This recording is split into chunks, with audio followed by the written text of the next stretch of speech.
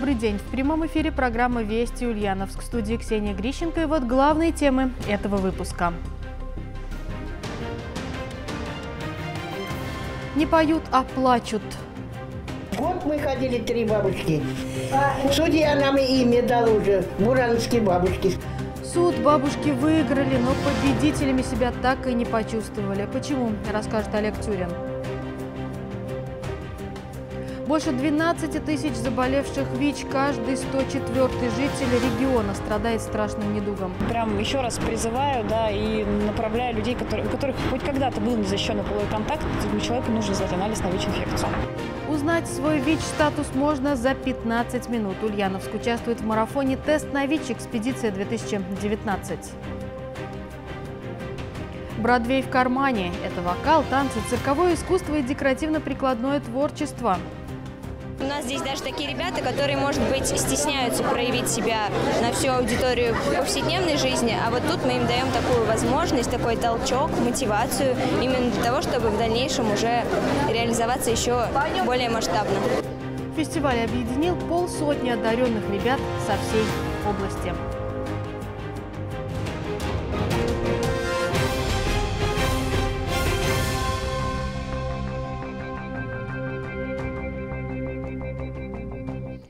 Сосчитают всех. В октябре 2020-го пройдет всероссийская перепись населения. В этой связи в стенах регионального органа госстатистики прошло организационное совещание, посвященное подготовке к масштабному мероприятию. От предыдущих подобных подсчетов предстоящая перепись отличается тем, что она будет проводиться не только в бумажном, но и в цифровом виде. До переписи осталось э, уже чуть-чуть меньше года. И вот сейчас там обсуждается состояние адресного хозяйства, значит, э, состояние аншлагов, э, значит, условия взаимодействия между статистикой и МФЦ. Для нас особенно важно знать, каким образом мы подготовлены к этому процессу, и для нас принципиально важно, чтобы не было никаких сбоев, потому что результаты этой переписи как раз-таки покажут, как реализовывается в нашем регионе национальный проект. При этом в ходе переписи подсчитают не только количество жителей в Российской Федерации, но и отдельных субъектах, но и установят другие статистические данные. В процессе переписи мы получаем возможность, э, ну как бы уникальную возможность получить много информации, интересной информации о состоянии, структуре, динамике населения. В том числе мы получаем такую возможность без проведения специальных обследований узнать, например, количество фактических браков, соотнести их с количеством юридических браков и таким образом выяснить количество незарегистрированных браков. Предыдущая перепись населения проводилась в России в 2010 году. Население нашей страны тогда составило 142 миллиона 905 тысяч 200 человек. Узнать свой ВИЧ-статус за 15 минут. Ульяновский регион принял участие в марафоне «Тест на ВИЧ. Экспедиция-2019». Всероссийская акция стартовала 17 июня в Севастополе, а 5 ноября пройдет завершающее мероприятие в Москве. За этот период запланировано посетить 40 регионов. Провериться на ВИЧ смогут жители около 200 городов, среди которых оказался и Ульяновск. У меня тут подружка, я друзей своих позвала, и я думаю, это правильно. Тем более это бесплатно. Я думаю, это надо пройти, чтобы самому узнать, мало ли что. Во-первых, нужно знать то, что мы не болеем. Нам тут рассказали о том, как важно при половом контакте то, что нужно защищаться, почему это важно, чтобы не заболеть. Я считаю, это нужно. Консультанты акции рассказывают не только о том, как важно знать свой статус. Попутно развеивают популярные мифы, до сих пор прочно сидящие в головах людей. Например, что можно заразиться при рукопожатии или поцелуе. Многие думают, что можно заразиться через маникюрный кабинет, через стоматолога, там, пирсинг, татуировки. Так можно заразиться гепатитом Б и С, но ВИЧ-инфекции так не заражаются. То есть человек, зараженный ВИЧ-инфекцией, он абсолютно безопасен для окружающих. То есть при контакте, при общении. А если человек заражен ВИЧ-инфекцией, но пьет терапию, он даже при незащищенном половом контакте безопасен становится через какое-то время после приема, после приема терапии. Врачи напоминают, невысокий статус, недолгое замужество не гарант безопасности. Вирусом иммунодефицита можно заразиться, даже если человек не входит в группу так риска. как э, ВИЧ-инфекция, сам этот вирус вышел в общую популяцию, теперь социально адаптированный человек тоже может быть заражен ВИЧ-инфекцией. Это не только группа риска. Поэтому, ну, прям еще раз призываю, да, и направляю людей, которые, у которых хоть когда-то был незащищенный половой контакт, этому человеку нужно сдать анализ на ВИЧ-инфекцию. На данный момент в регионе заболеванием поражены 12 022 человека. Это значит, что каждый 104 житель Ульяновской области имеет вирус. Только в этом году выявили более 700 вновь инфицированных, среди которых основная масса – это работающие мужчины и женщины в возрасте от 30 до 40. Основным путем заражения по-прежнему остается половой. Таким способом оказались инфицированы более 80%. Еще около 16% зараженных употребляли психоактивные вещества. По показателю пораженности населения наш регион на 13 месте в России и на третьем в ПФО. Ульяновские студенты вспоминают правила безопасности труда и борются за денежные призы. Интеллектуальный турнир «Нулевой травматизм» проходит среди учащихся девяти профессиональных образовательных организаций. Этот проект получил грантовую поддержку в одноименном конкурсе регионального отделения Федерации профсоюзов. Для участников подготовили мастер-классы и практические занятия по четырем направлениям. Студенты техникумов и колледжей расследуют несчастные случаи на производстве и учатся оказывать первую помощь. А еще вспоминают правила электробезопасности и работы на высоте. В чем суть? Вот, зафиксирован 20 межсустав, она никуда уже не денется, и человек в данном состоянии, то есть уже непосредственно транспортирован а, в травмпункт. Это те люди, которые уже в скором времени пойдут на рабочие места. А, не всегда у индивидуальных предприятий, понятно, что на крупных предприятиях охрана труда поставлена на высоком уровне, потому что есть ответственные люди, есть э, специалисты по охране труда, которые ей занимаются. А очень много пойдут э, к простым индивидуальным предпринимателям, и которые, в принципе, ну, не, не столько заботятся о защите здоровья и жизни своих сотрудников. И вот мы как раз и хотим показать, что как э, себя нужно вести при проведении работы. Финальная игра пройдет в начале декабря среди лучших команд отборочного тура. Напомним, весь 2019 год в регионе по инициативе губернатора проходит под знаком нулевого травматизма.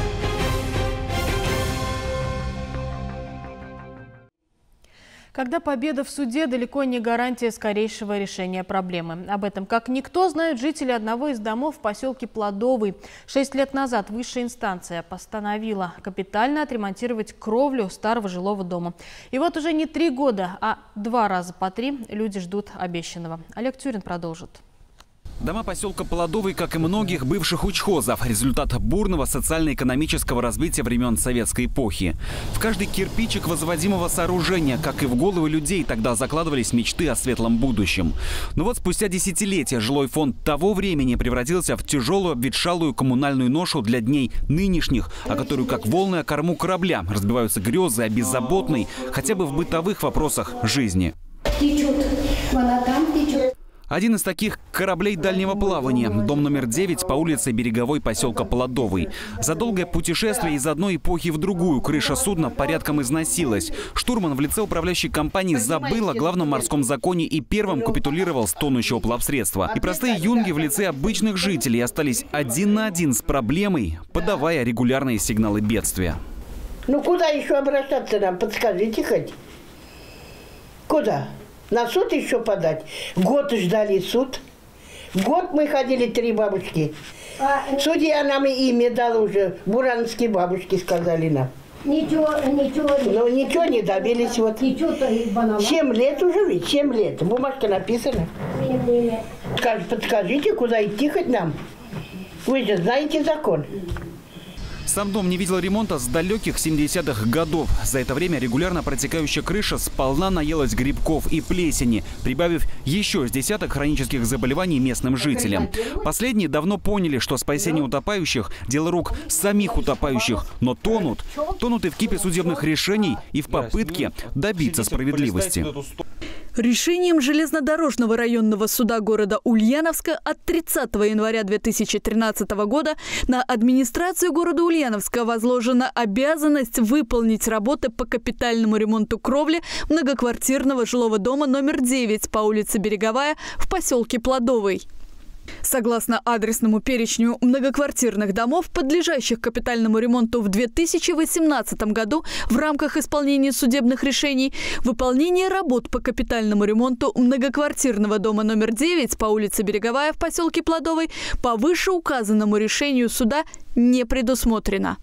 Несмотря на решение суда от, внимания 2013 года, ремонта кровли этого дома у муниципалитета не предусмотрено 13 лет, вплоть до 2026 года. Сейчас у городской администрации уже накопилось 460 таких же домов, терпящих катастрофу.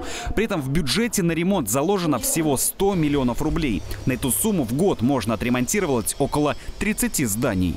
И для того, чтобы этот, срок приблизить, э, людям необходимо в первую очередь э, создать инициативную группу собственников, э, те, кто готов будет заниматься вот переносом сроков на более раннее время. Второе, что требуется, необходимо техническое заключение, которое подтвердит, что дому действительно необходим капитальный ремонт. Получается, что действующее решение суда для региональной программы не является весомой причиной в подвижках к скорейшему ремонту. То ли в силу незнания всех юридических тонкостей, то ли в силу отсутствия возможностей. Жителям только и остается подавать все слабеющие сигналы СОС. Подскажите, куда идти хоть нам? Вы же знаете закон. Олег Тюрин и Герман Баранов. Вести. Ульяновск. «Бродвей в кармане». Фестиваль под таким названием объединил полсотни одаренных ребят со всей области. Это проект, который получил грант региональных властей. В Центре детского творчества собрались певцы, танцоры, циркачи, поэты, художники. Вокал, танцы, цирковое искусство и декоративно-прикладное творчество – Студент медицинского техникума, например, представил фантастику в акварели. На одном полотне сразу несколько сюжетов и максимальное количество деталей. Картины Никиты Красильникова многие сравнивают с живописными комиксами. Я импонирую к э, таким к образу путешественника, к образу человека, который находится в постоянном поиске. То есть я не делю его на белого и черного условно. То есть он для меня является неким, некой золотой серединой, способной и на ошибки, и на какие-то злодейства может быть, в какой-то мере, но проживающий наиболее продуктивную, наиболее интересную для него жизнь. То есть для меня этот образ путешественника, человека, находящегося в постоянном поиске чего-то нового, является как бы ключевым. У нас здесь даже такие ребята, которые, может быть, стесняются проявить себя на всю аудиторию повседневной жизни, а вот тут мы им даем такую возможность, такой толчок, мотивацию, именно для того, чтобы в дальнейшем уже реализоваться еще более масштабно. Ведь яркие и креативные возможности ребят оценили не только зрители, но и приглашенные эксперты. Именно они должны помочь в реализации творческих проектов участников фестиваля. И на этом выпуск программы «Вести Ульяновск» подходит к концу. Далее авторская программа Бориса Корчевникова «Судьба человека». Сейчас в Ульяновске 9 градусов. Атмосферное давление 758 миллиметров ртутного столба. Относительная влажность воздуха 83%. Ветер юго-западный 9 метров в секунду.